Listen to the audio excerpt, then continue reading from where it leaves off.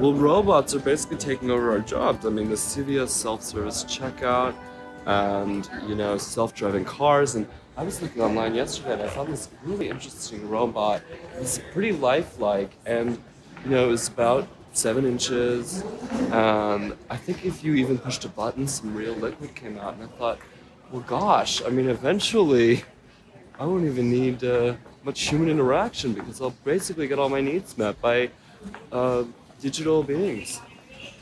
Digital beings. Digital beings. Really, right. Hector? That's right. You won't need what anymore? Well, I'll always need you, Mark. Jesus Christ. Hector, why do I bring you along? I don't even know.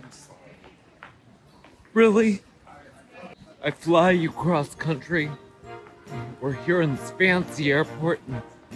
Oh, Lord Almighty.